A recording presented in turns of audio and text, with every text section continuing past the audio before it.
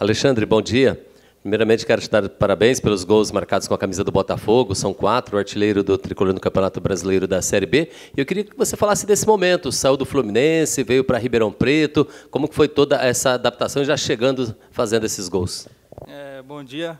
É, é, uma fase extraordinária que estou vivendo, de sequência de gols. É, e sair de lá e vir para cá, acho que me adaptei mais rápido possível um, o clube, o, o elenco me abraçou, então acho que chegar e mostrar o que sou capaz. Então, é só aproveitar agora essa sequência aí e dar continuidade, né? Graças a Deus. Alexandre, bom dia. É, à medida que você está ganhando protagonismo dentro do, do time do Botafogo, os adversários também estão sabendo. E até na transmissão, os narradores, os comentaristas comentam. Ele está sempre muito marcado. Tem um, dois em cima dele. É, queria que você comentasse sobre isso, principalmente na partida contra o Mirassol. Depois que você faz o gol, ficam dois assim em cima de você e você precisa dessa assistência lá na frente para continuar fazendo gol. É, quanto à partida do, do Mirassol mesmo, a, a, gente já sabia que ia ser um jogo bem difícil, né? É, uma equipe que estava tá, em primeiro colocado, sem perder em casa. E a gente também estuda os caras, né? E como eles estudam a gente também. Então a gente sabia que era uma defesa ali é, alta, é, forte, então a marcação dobrada mesmo, mas o time ali acertou depois do, depois do primeiro tempo, voltamos mais justinho ali na frente ali e podemos acertar o último passe para chegar a fazer o gol. Você está percebendo essa tensão individual em você? Sim, estou percebendo sim, é, essa marcação, mas é, é trabalhar, né? É, para poder sair da marcação ali, tem a ajuda do, do Baggio, do Vitor, e está sendo fundamental também. Alexandre, bom dia. É, em cima também um pouco do que a Karen te perguntou, né, dessa questão de, de ser protagonista, é, como é que é para a cabeça? Né, porque você vem de temporadas que vinha buscando o seu espaço, numa outra entrevista sua, você falou que agora você está começando a ter pela primeira vez uma sequência de jogos e virando uma das referências do time, já é o artilheiro da equipe na Série B. A cabeça para isso, né, para ficar realmente concentrado, para não deixar a euforia tomar conta e também a questão do seu posicionamento. Né? Você chegou aqui como um atacante é, de beirado, um segundo atacante, o Fluminense chegou a jogar até de lateral e aqui virou camisa 9 do time. É toda essa transformação do psicológico e também de posicionamento. Como é que você lida com tudo isso? Ah, cara, é uma. Igual, igual eu falei da última vez, né? É um momento que eu nunca tinha vivido antes, de sequência de jogos. É, o clube que me deu a oportunidade, mas é sobre a mente, é, o psicólogo é. Acho que é sempre estar tá focado, né? Que eu sou um cara de muito trabalho, então, desde novo, sempre trabalhei para quando chegar a oportunidade, é, aproveitar da melhor forma. Igual lá no Fluminense, joguei de lateral também, de atacante, de beirada. Mas é, acho que é sobre aproveitar a oportunidade, ter foco também, né? É, é isso.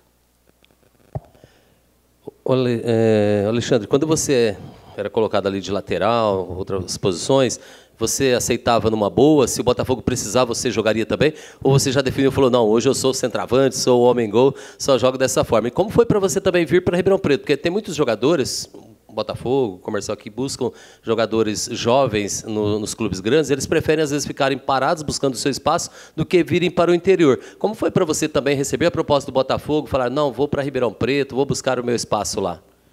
É, igual quando, quando eu vim para cá, né, eu falei para o meu empresário que viria como um atacante.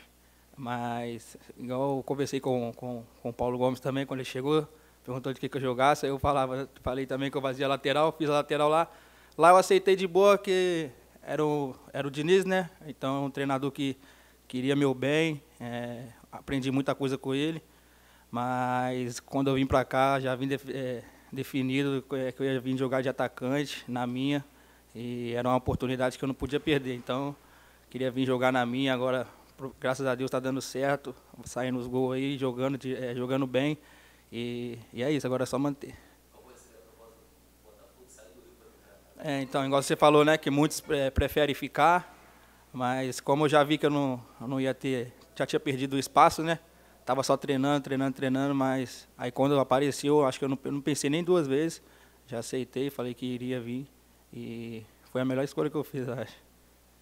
Alexandre, o que, que, mudou para vocês eh, a partir do adiamento da, da, da, última partida, da última rodada, eh, em termos de preparação, de ritmo? O que, que você acha para essa partida contra a Chape? Deu mais tempo para vocês se prepararem, estudarem o adversário, ou é, ou é uma quebra de ritmo? Como que você enxerga?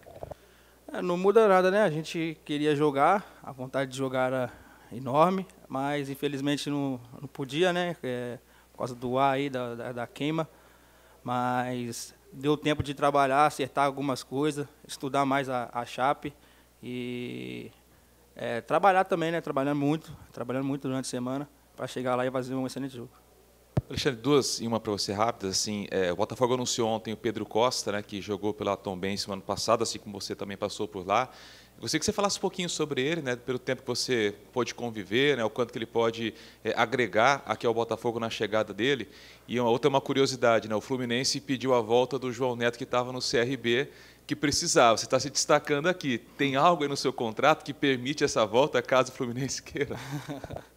é, sobre o Pedrão, joguei com ele na Tombense, é um moleque fundamental, uma, uma, um cara do bem é, de, excelente, de excelência qualidade. É uma contratação muito boa, que vai nos, no, nos ajudar muito. Vai preencher ali a lateral. É, e é um moleque fenômeno, então é, vai ajudar a gente bastante. É, quando ele falou que ia vir para cá, né, ele perguntou como é que era. Eu falei que era top, a estrutura de Série A, que ele poderia vir sem, de olhos fechados, que ia, que ia ajudar a gente demais. E sobre o negócio do, do contrato da volta lá do João Neto, né? Uma, é um moleque também, o João Neto joguei com ele, é um moleque que trabalha muito. É, foi bem lá no, no CRB também. É, pôde voltar agora, agora é aproveitar as oportunidades que ele vai ter lá e se destacar também. Não. Não sei, não sei. Alexandre, agora o Botafogo pega um adversário que está atrás dele, que é a Chapecoense. Como que é para vocês, jogadores, lidarem com isso? O Botafogo vem ganhando pontos das equipes que estão à frente e perdendo pontos das equipes que estão atrás do Botafogo. O que fazer agora para reverter essa situação? Cara, é, é um, é um time... A Chapecoense é um time de, de qualidade, um time bom e, o, e jogar lá sempre é difícil, né? Na Série B não tem jogo fácil, né? Todos os jogos são difíceis. Então a gente sabe da dificuldade que é, é temos que chegar lá, lutar, batalhar como sempre, jogar como os guerreiros, que é como a final para a gente. Então, temos que pontuar de qualquer jeito. Todo ponto é sempre bem-vindo. Então, vamos lá para buscar a vitória, buscar o empate, se Deus quiser sair vitorioso.